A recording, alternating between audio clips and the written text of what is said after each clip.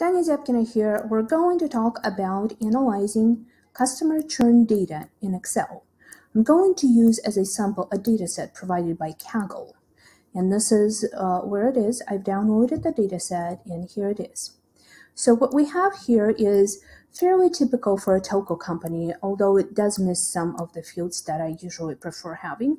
But here's a customer ID, some of the demographic variables like gender, senior citizens uh, status, and so on. And then some of the company variables that are more important, uh, variables, variables like tenure, whether they have certain services, whether they had a um, tech support call in a prior period, I guess that's what it means.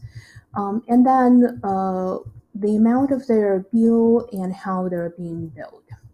Uh, the target variable is churn. So basically, this is a snapshot of customers on a uh, beginning of a period and then whether they churned in the subsequent period of time. So to analyze this data, the first thing that we need to do is to create a flag for churn that is ones or zeros. So I'm going to call it a churn flag. And I'm going to turn all of the yeses into ones and nos into zeros.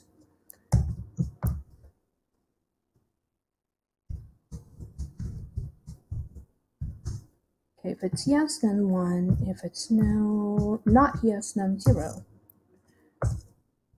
And then let's copy that. And then I'm going to create a very helpful flag for creating pivot tables and calculating churn rates in them. And that flag is going to be called count. This is like this, the absolute simplest flag out there. It's just once. Now we have created this. I'm going to highlight the whole table and put a pivot table over it. There it is. So now here's here's how it's going to going to look. So the count is going to give us a count of the customers that have disconnected during our analysis period of time. Uh, this is the churn flag. And then the count is all customers. So one divided by another is the churn rate. Now to create that in this uh, particular pivot table, what we can do is go into fields, items, and sets and create a calculated field. I'm going to call it churn rate. And it's going to be churn flag divided by count. There it is. So now we can get rid of the fields that we don't want to look at and um, use this table to split our churn rates into different variables. For example, like this, female and male, what is uh, the churn rate? Now, if you want to visualize this data, there's an option for pivot chart. It's right here. Um, see how helpfully it cuts it off um, and makes it look different? it's not that different. So always look at the um, overall level so going back here, um, gender probably not a good variable for us to use in analysis. Oh, look, this one is a lot more interesting. This is senior citizen. Now we have difference in churn rates, whether somebody is a partner. There we are. That's also significant. Well, it's not statistically significant. I can't calculate that that quickly, but it looks meaningful. They have dependents. Yep, there's a difference. Tenure.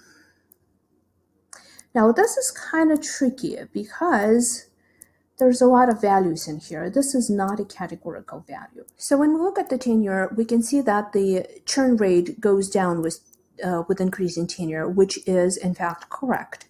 But we may want to turn this variable into categorical variable along with another continuous variable, which is called monthly charges. Let's drop it in. Okay, that doesn't make a lot of sense because it's a continuous variable and it has a lot of values in there. So what we're going to do, instead of looking at the churn rate, we're going to go back into our original uh, variables and we're gonna look at the count and then we're gonna use the churn variable or churn flag to differentiate between them.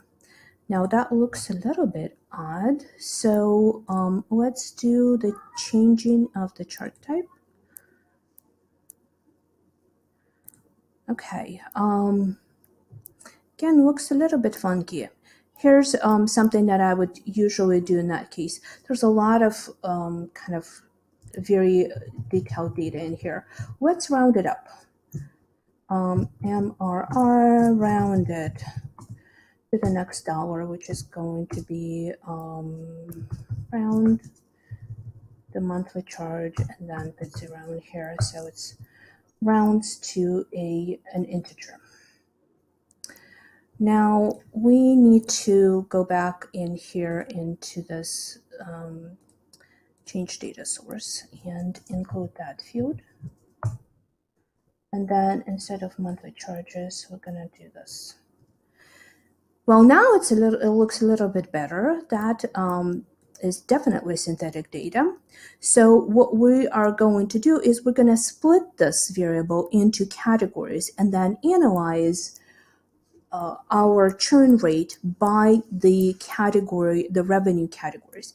And the splits that I've chosen uh, were from zero to $28. So right about like right here and then from 28 to 43 dollars and then from 43 to 68 and then uh, 68 plus the, the tail is all together.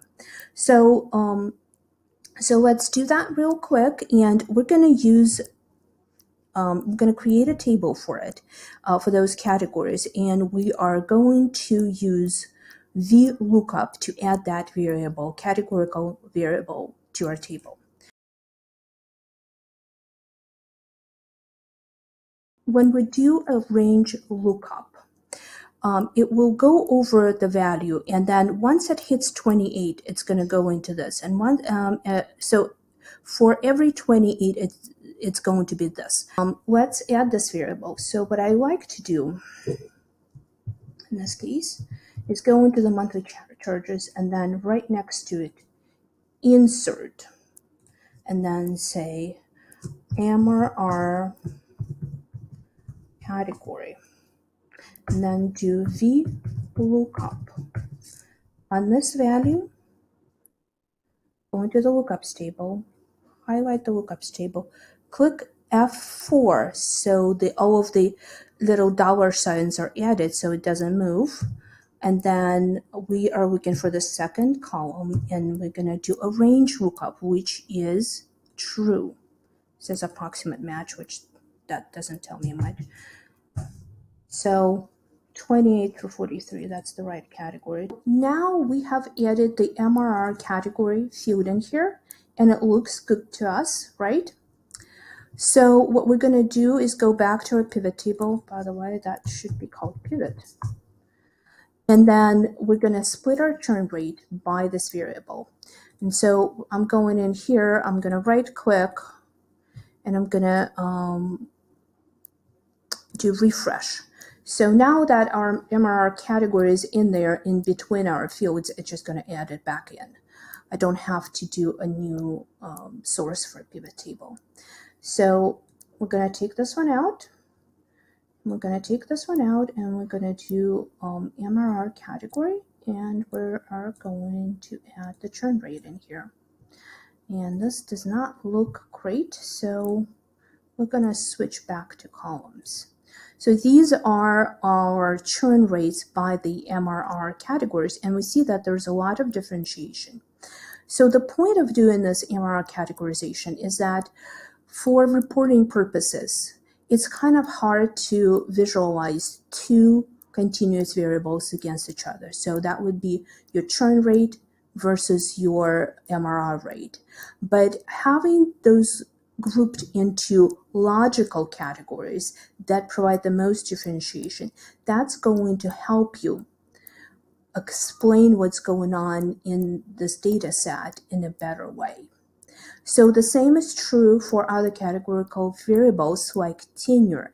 And again, in this particular case, we know that tenure does have more or less linear dependency with the churn rate. There's a um, there's a relationship, but in many cases you have bumps in the middle. For example, um, for wireline communications, like your wireline, you know, uh, high speed home internet, you have a spike at 12 months because a lot of people are moving.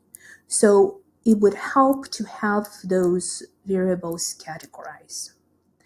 Um, now let's go over quickly how we can take this data and create pretty charts. So, you know, these charts don't look good. So let's take senior citizen chart and um, highlight it and put them into its own little table. And unfortunately, it copied the whole pivot table, which we do not want. We want so all we need to do is just leave out one of the pieces.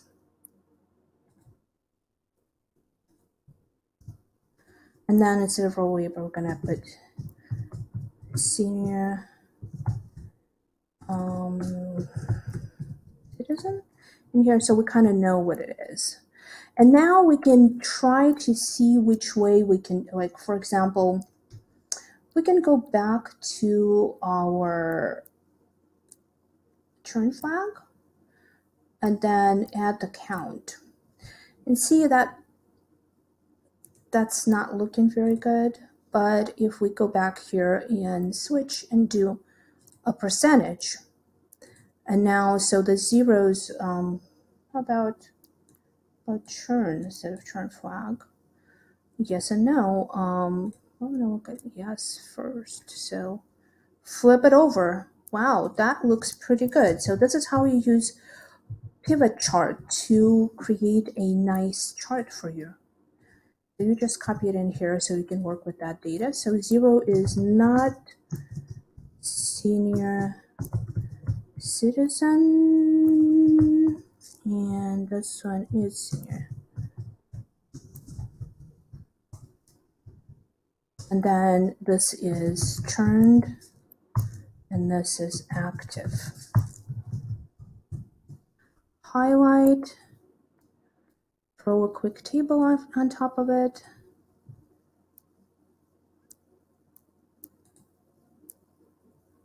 Um, switch rows. There it is. Um, if you want to add percentage, you will have to create percentages in here and then add a data point. So here's our final product, which is the charts that we can produce from this data using Excel, pivot table, and VLOOKUPs for categorization. VLOOKUPs are really good for rolling up data and adding things to your tables for which you can categorize and break things down. Um, basically, VLOOKUPs is a poor man's join that is used in SQL. So that's how you bring outside data. So um, these are two examples that I've used. This is senior citizen and this is MRR groups. And you can do either the stacked bar or the just the regular churn rate chart using this particular method. I hope this helps. And if you have any comments, leave them down below.